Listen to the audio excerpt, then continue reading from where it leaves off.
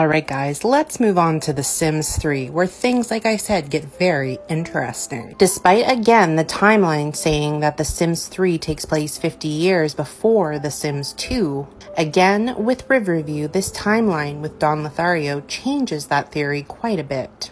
Besides the fact that Don is living in Riverview, the newbies are also living here and they appear as their younger Sim selves living with their parents. So, like I said, when you look at Don Lothario, you find out that he is the same age as he appeared in The Sims 2, and he also has a very interesting bio.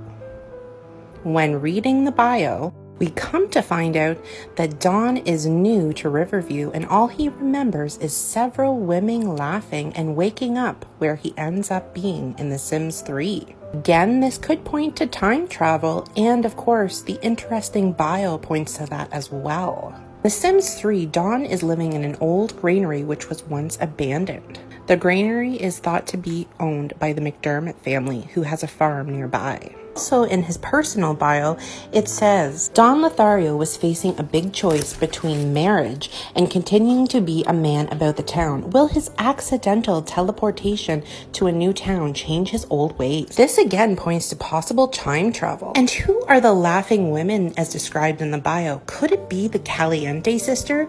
Or could it even be Cassandra Goth? It is never officially announced who exactly these women were, but many speculate it was the Caliente sisters. What do you guys think? Also, for the preview of the town of Riverview, shows Don teleporting to the McDermott garden. I haven't checked it out yet, but let me know if you guys have seen it. Also, like many of the Sims 2 characters, his traits and even his appearance have changed quite a bit. As we know in The Sims 2, he didn't have any charisma skill points, but in The Sims 3, he appears charismatic. He also has a new shirt, lighter skin. While he was fit in The Sims 2, he appears thin in The Sims 3. Before the return of the Caliente sisters in the Barnacle Bay world, Don Lothario was the first Sims 2 character reintroduced in The Sims 3.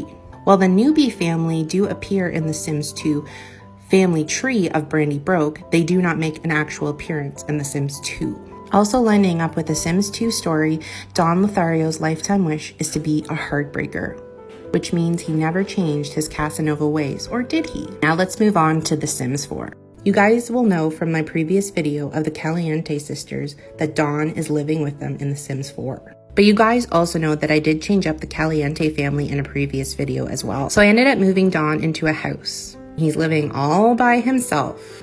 You think he'll change his ways? Let me know in the comments down below. I'll see you in my next video.